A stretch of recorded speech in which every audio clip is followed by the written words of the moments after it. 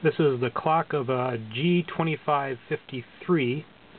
Scope is triggering on the edge here, and we'll be looking at this next edge to see how the clock varies, the clock period varies, and that will be the, the jitter of the clock. This is at 250 nanoseconds per division, and it, it looks pretty stable.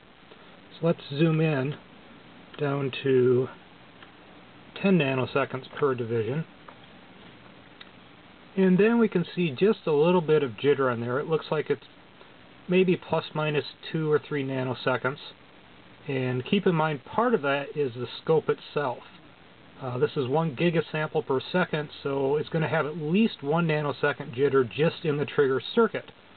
So overall, this actually looks like a uh, reasonably stable clock.